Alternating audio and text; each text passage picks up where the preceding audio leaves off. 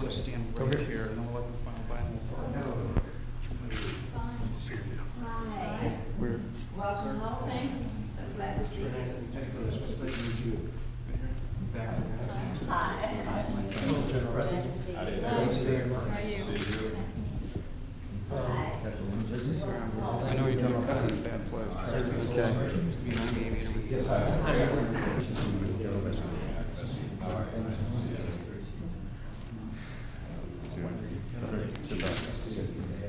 Good to have you back.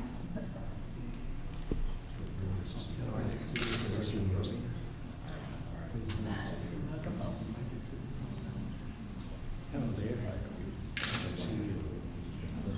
Good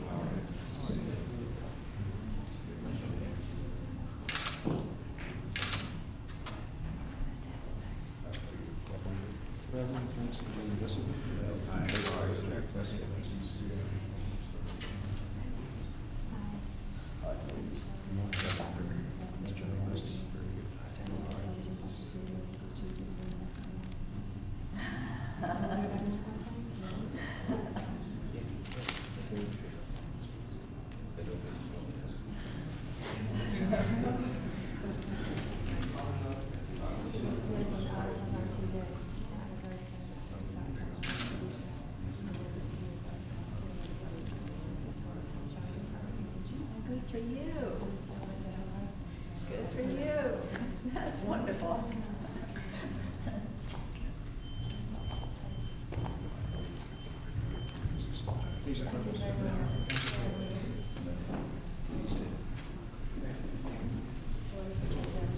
Good to see You too. You were one of the first time? I recognize you. It's good to see you too. Very nice to see you. You were one of the first I know, I know.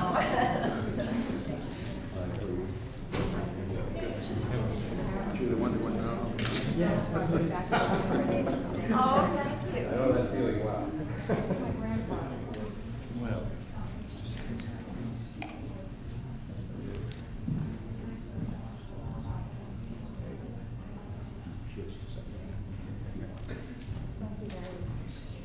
Thank you. Here you go. Hi, how are you? Careful, ladies. Nice. General Vessey. All right.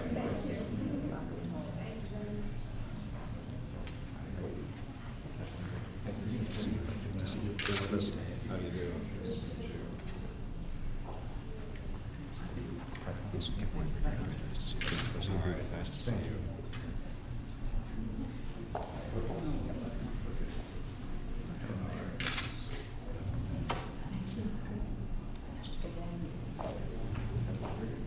Very nice to see you, General Vessey. Nice to see you.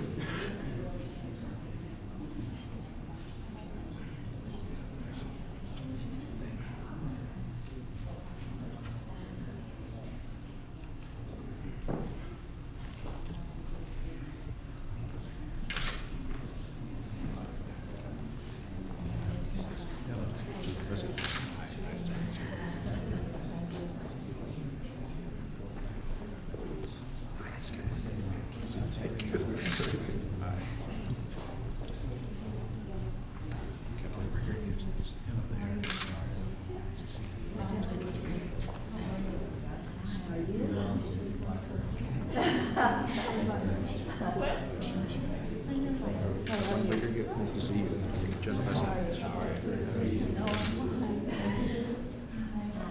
Yes. General Vessey. Thank you very much. That's what we're here for. That's right. Yeah, we kept one back. Nice to see you. That's good. Nice to see you.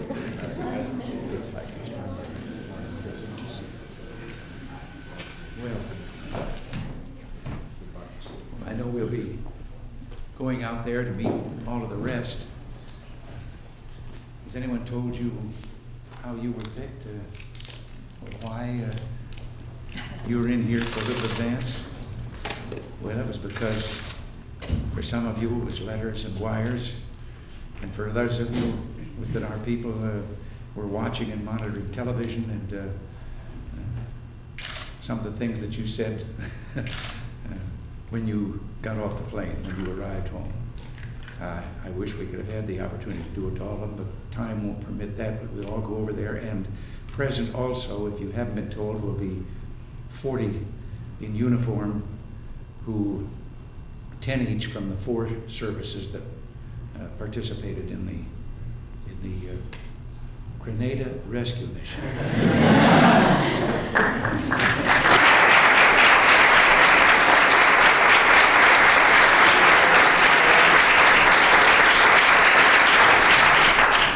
General Vessey, Chief of Staff.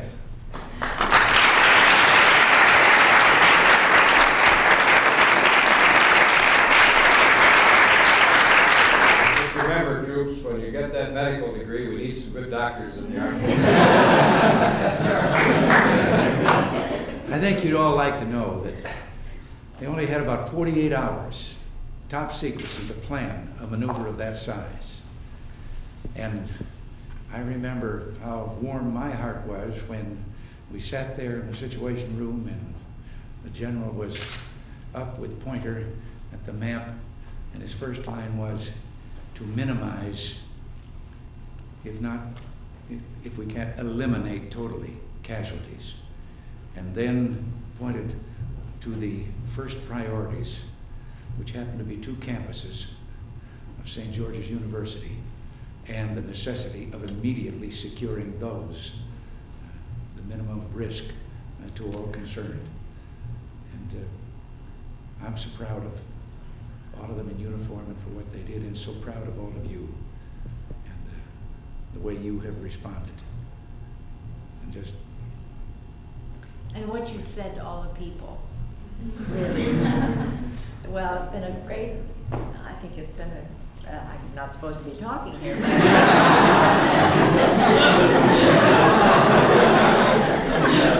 You just finished cleaning up my desk. But I think it's been a great boost to the American people and a real shot of patriotism. And I think it's wonderful, and I thank you very much.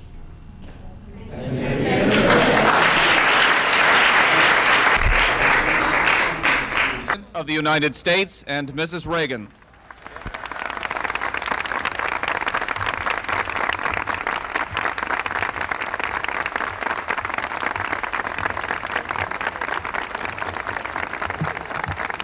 Thank you very much.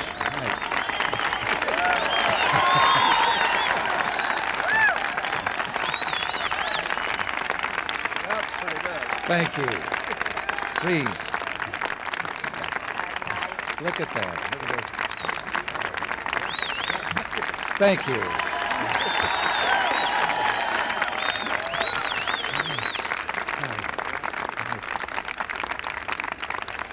Thank you. Please. Please be seated. Well, Secretary Weinberger, General Vessey, and all of you students and all of the men and women who are here in uniform, I'm so glad to meet you and to be able to say it officially, welcome home.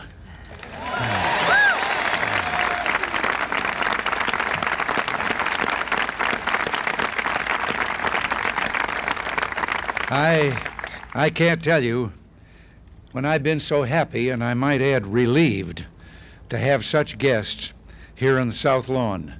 So a very warm and grateful welcome to you all, and welcome to the ambassadors and other special guests who are here. And let me tell you how this little get-together came about. I'm actually playing matchmaker today. You students sent me so many moving telegrams of appreciation about the military fellows who rescued you, I thought it might be nice if you had the chance to tell them yourselves.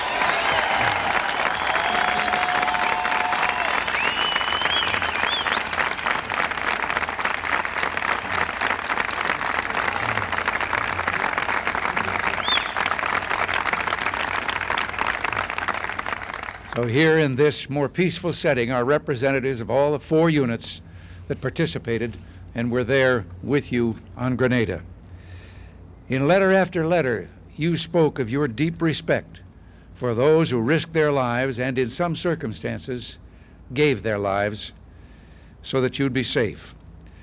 A great many of you said you believed you'd be dead or held hostage today if it weren't for the courageous men whose business it is to be courageous our soldiers, sailors, Marines, and airmen. I wish I could give every military person who participated in the Grenada rescue copies of your telegrams and, and letters. Some of you also wrote of your anger that certain people belittled the danger that you were in. And I must say, this angered me a little too. It's very easy for some snug know it all in a plush protected quarter to say that you were in no danger.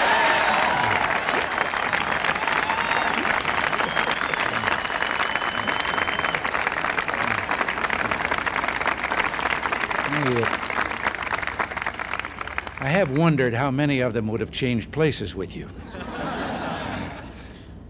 Some of our fellows didn't make it back. Ted and Jan Stathos wrote me a letter, as so many of you did, and I'd like to read just one small passage because it says so much. While we waited for the Rangers to evacuate our campus at, and I hope I'm pronouncing this right, at Grand Anse, we experienced many chilling and sad moments. The most upsetting of these was the sight of an American helicopter being shot down by enemy fire.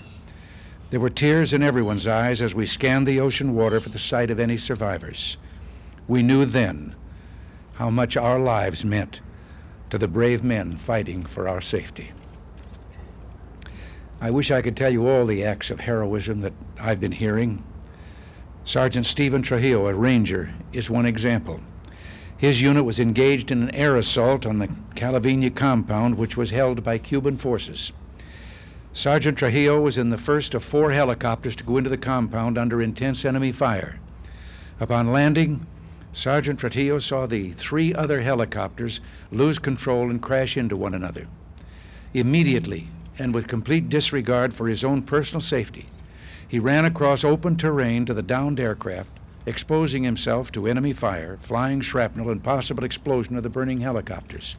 With only the lives of his fallen comrades in mind, and while still in the open and exposed to intense automatic and small arms fire, Sergeant Trujillo began administering first aid to the critically wounded.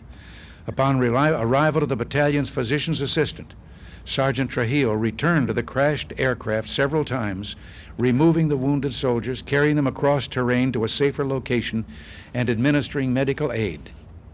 During the entire time, he came under automatic and small arms fire. His unselfish actions were instrumental in saving the lives of a platoon leader and several other seriously wounded soldiers. And the inspiring thing is that Sergeant Trujillo, Trujillo would have risked his life for each of you as well. From your letters to me, I know how deep your gratitude, even affection, is for these men. Some of you have asked how you can express that respect and affection. Well, you've been doing a marvelous job already. Nothing could make those men prouder than the statements you've made to America about their bravery and devotion to a cause larger than themselves. A few years ago, it seemed that America forgot what an admirable and essential need there is for a nation to have men and women who would give their lives to protect their fellow citizens. What you saw 10 days ago was called patriotism. What those men did for you, they would do for any American in trouble. And the way you can best honor those who died in Grenada is to speak out about their courage and commitment as they risk their lives for yours, and as so many of you have been doing already. Unbelievably, the other day, a reporter asked me what the was the difference between our invading Grenada and the Soviets invading Afghanistan. The question sort of touched my temperature control.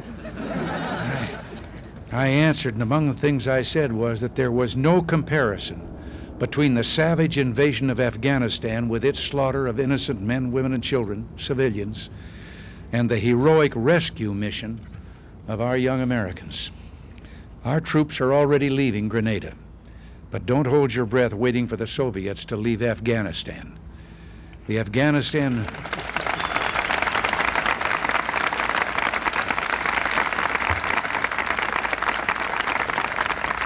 The Afghanistan people aren't meeting the soldiers with friendly waves and gifts of flowers and fruit over there.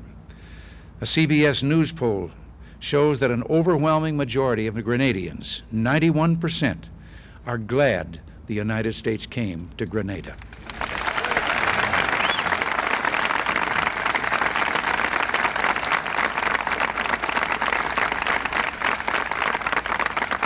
I think that tells a lot about the differences between democracy and totalitarianism. Now, I'm not going to take up all the time here, but it's good to have both students and servicemen together under more peaceful circumstances. And would you do me a favor? When you all leave today, would you try not to be as dramatic as it was in your la- last leave taking? But thank you for coming. God bless all of you. And now I believe that Jean Joel and Jeff Geller want to say a few words.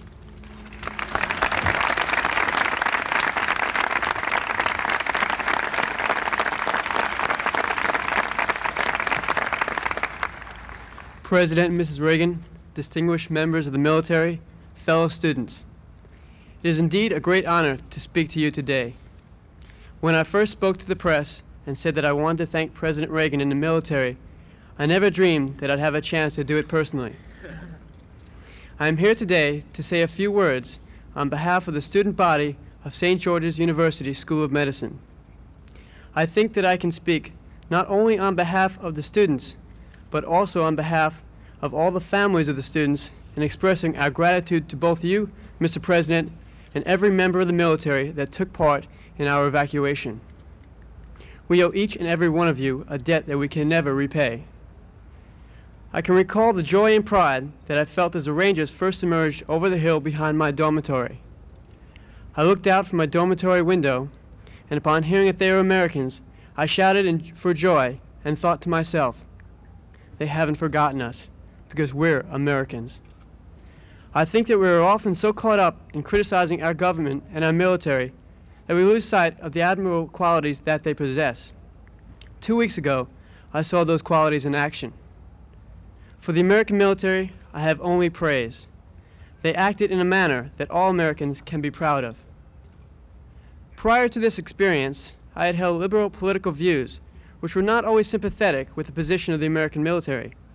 I think a lot of us, who don't have a first hand view, are often skeptical when we hear that our military is involved in a faraway place. We don't always understand why our soldiers are fighting abroad. Well, let me say that I've learned a lot from this experience.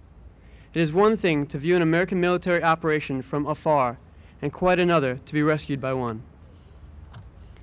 We are a group of young men and women dedicating to studying medicine so that we can save lives. Let us also remember that many lives were lost in saving ours. Let us honor those American men who saved their lives so that someday we can save others. To you, President Reagan, I must add a special thank you on behalf of my parents and of all the students' parents. Thank you for bringing us back to the United States. There is truly no place like home. Thank you.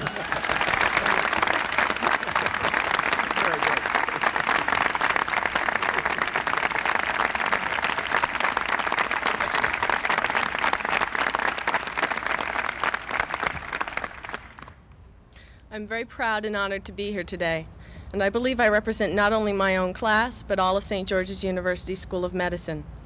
When I say that I am grateful to the U.S. military for their actions, I never had so much faith or pride in my country than during the 24 hours I spent under war conditions in Grenada. Probably the most poignant moment for me personally was Tuesday night in the library that we converted into a makeshift medical unit. I thought about the fact that just 24 hours earlier I had been studying here and how abrupt the change was from academics to reality. They brought in a soldier with three bullet wounds in his right arm and chest, and the man was in excruciating pain.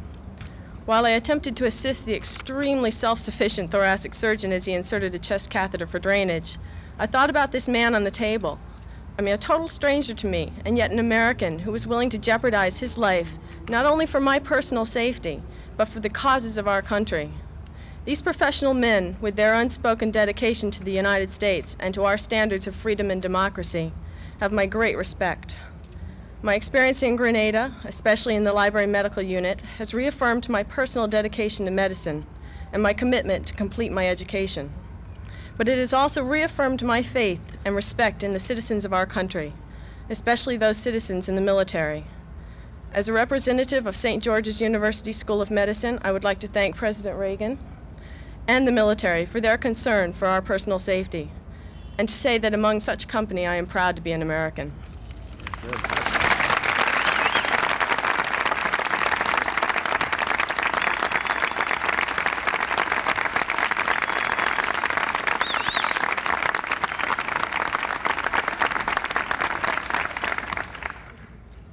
President Reagan, the honorable military, and the student body, on behalf of the students of St. George's University School of Medicine, I would like to present you with this small token of our appreciation for saving our lives, the United States military, and you, President Reagan, in appreciation for your prompt action that guaranteed our safe return from Grenada, the students of St. George's University School of Medicine.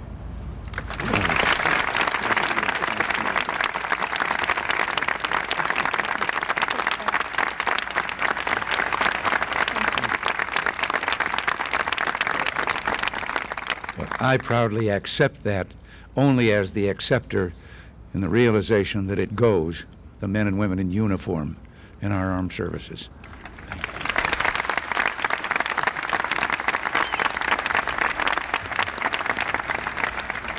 President Reagan, on behalf of the students, the very grateful students of St. George's University School of Medicine, who appreciate both your rescue mission in Grenada and your continued support for all citizens pursuing their American dream, we give you a plaque in the shape of the United States for bringing us home to America. We thank you.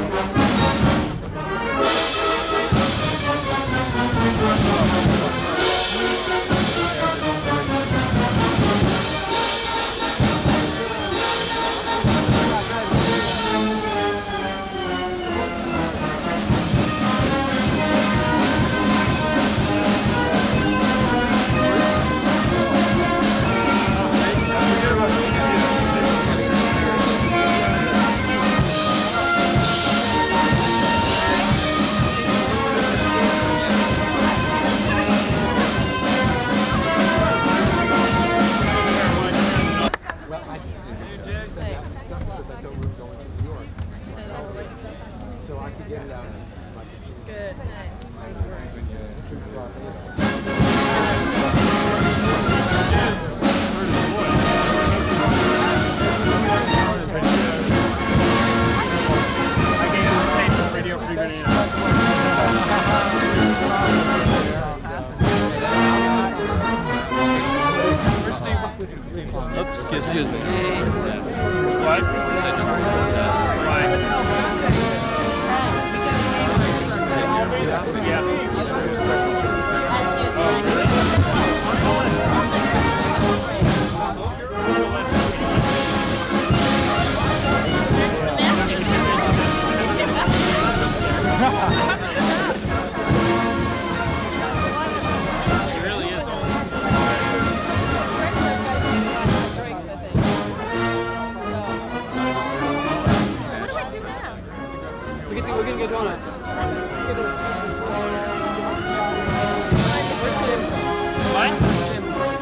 Jim's from Florida. I'm from Florida. Sarasota.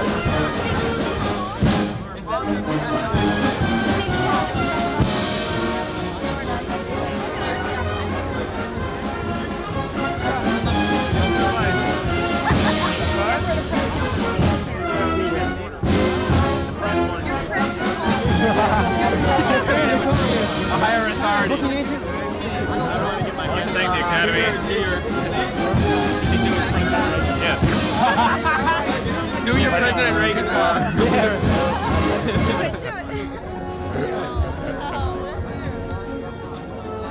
Excuse me.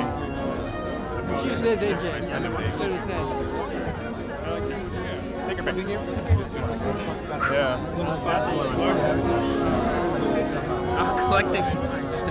You can take your pick on these. I'm going to send this to Dad. I think I'll take Secretary Weinberger.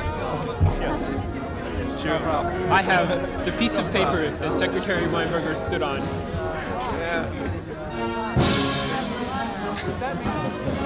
Really nice. I got one. Giving him the gift. How you doing?